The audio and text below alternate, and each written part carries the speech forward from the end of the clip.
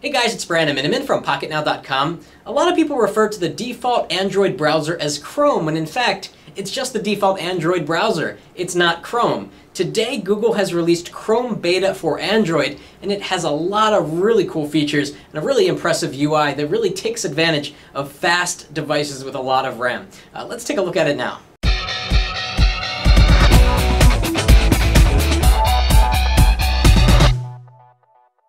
And so this is an ice cream sandwich app, and one of the coolest things that it does is it allows you to place shift from your desktop to your phone. A lot of other browsers allow you to do this, that is, have the tabs that are open on your desktop be also open on your phone, but now we finally have it in Chrome. A lot of people use Chrome and they really didn't have that fluidity between desktop and between mobile browsers. So let's go into Chrome Beta here, and right now we are looking at The Verge, and it's got some really cool UI features. For example, if we go up to the tabs here, we can actually flip through our tabs, and if we want to discard one, we chuck it off the screen. Here's one of my favorite features. You can switch between tabs by swiping to the left or to the right in this case. And look how smooth that is. How many times are you switching between multiple web pages and you wish there was a faster way to do so without having to peck up here to the open tabs and, and click that way.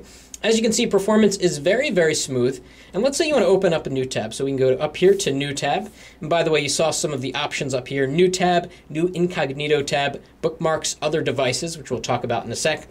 Find in page, kind of a search, settings, and help. You can kind of see the ice cream sandwich interface. The back button is hidden out of sight, and the forward button. And so down here we have three choices if we want to open up a new tab.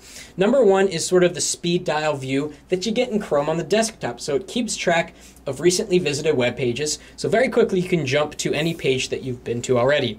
Over here to the right, we have bookmarks, and this is syncing directly with my, my desktop, so I can always have my bevy of bookmarks in my pocket. And over to the right, this is probably the coolest part. This is actually synced with my computer, my PC. So these three tabs are open right now on my desktop.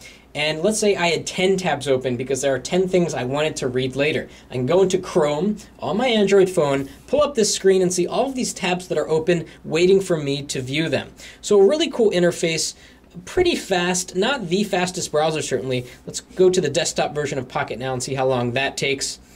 Definitely competitive in terms of performance. Flick down the page as it's loading. Uh, having a little trouble loading the page. Kind of, kind of get a blank spot. This is definitely in beta form. In fact, it has crashed several times already. And this is the Galaxy Nexus, the flagship uh, Google phone right now. So performance isn't that good. I expect with time that this is going to get really, really good. And it's really re refreshing to have this new interface that lets you swipe quickly between tabs, it really increases productivity.